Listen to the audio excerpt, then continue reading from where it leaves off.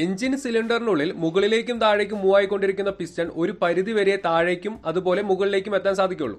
അങ്ങനെ താഴെ എത്താൻ സാധിക്കുന്ന പോയിന്റിനെ ബോട്ടം ഡെഡ് സെന്റർ എന്നും മുകളിൽ എത്താൻ സാധിക്കുന്ന പോയിന്റിനെ ടോപ്പ് ഡെഡ് സെന്റർ എന്നുമാണ് പറയുന്നത്. ഈ ടോപ്പ് ഡെഡ് സെന്ററിനും ബോട്ടം ഡെഡ് സെന്ററിനും ഇടയിലുള്ള സിലിണ്ടറിലെ വോളിയത്തിനെയാണ് സ്വെപ്റ്റ് വോളിയം എന്ന് പറയുന്നത്. അതുപോലെ പിസ്റ്റൺ ടോപ്പ് ഡെഡ് സെന്ററിൽ നിൽക്കുമ്പോൾ അതിനു മുകളിലായി സിലിണ്ടറിൽ കുറച്ച് സ്ഥലമുണ്ടാകും. ഇതിനെയാണ് ക്ലിയറൻസ് വോളിയം എന്ന് പറയുന്നത്.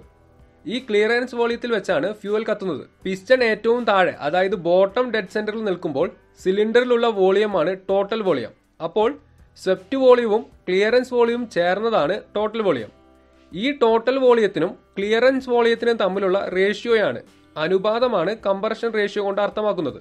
ഉദാഹരണത്തിന് ten is to one compression ratio ഉള്ള എഞ്ചിൻ എന്ന് പറഞ്ഞാൽ ആ എഞ്ചിനിലെ സിലിണ്ടറിൽ ഉള്ള ടോട്ടൽ വോളിയത്തിൽ പത്ത് തുല്യ ഭാഗങ്ങൾ ഉണ്ടാകും. പെട്രോൾ എഞ്ചിനുകളിൽ എഞ്ചിനിലേക്ക് വലിച്ചെടുക്കുന്ന എയറിനെയും ഫ്യൂവലിനെയും ഈ പത്ത് ഭാഗങ്ങളിൽ നിന്നും അതിലെ ഒരു ഭാഗത്തേക്കായി കംപ്രസ് ചെയ്യുന്നു. ഡീസൽ എഞ്ചിനുകളിലാണെങ്കിൽ എഞ്ചിനിലേക്ക് എത്തുന്ന എയറിനെ ഈ പത്ത് ഭാഗങ്ങളിൽ നിന്നും ഒരു ഭാഗത്തേക്കായി കംപ്രസ് ചെയ്യുന്നു. മറ്റൊരു രീതിയിൽ പറഞ്ഞാൽ ക്ലിയറൻസ് വോളിയത്തിന്റെ അതേ അളവിലുള്ള പത്ത് ഭാഗങ്ങൾ സിലിണ്ടറിൽ ഉണ്ടാകും. ഈ പത്ത് ഭാഗങ്ങളിലേക്കായി എത്തുന്ന എയറിനെ പിസ്റ്റൺ പത്തിൽ ഒരു ഭാഗമായ ക്ലിയറൻസ് വോളിയത്തിലേക്കായി ചുരുക്കുന്നു. പെട്രോൾ എഞ്ചിനുകളിൽ കംപ്രഷൻ റേഷ്യോ കുറവും ഡീസൽ എഞ്ചിനുകളിൽ കംപ്രഷൻ റേഷ്യോ കൂടുതലുമായിരിക്കും. ഇതിനുള്ള കാരണവും കംപ്രഷൻ റേഷ്യോ കൂടിയാലുള്ള ഗുണങ്ങളും അടുത്ത വീഡിയോയിൽ മനസ്സിലാക്കാം.